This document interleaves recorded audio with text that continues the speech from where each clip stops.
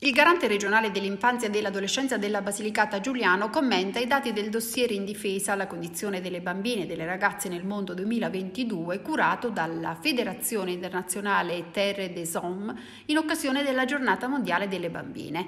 I dati dei reati commessi a danno di bambini e ragazzi al di sotto dei 18 anni sono drammaticamente sconfortanti, superano i 6.000 e vanno dai maltrattamenti all'abuso dei mezzi di correzione, dalla pedopornografia alla violenza sessuale.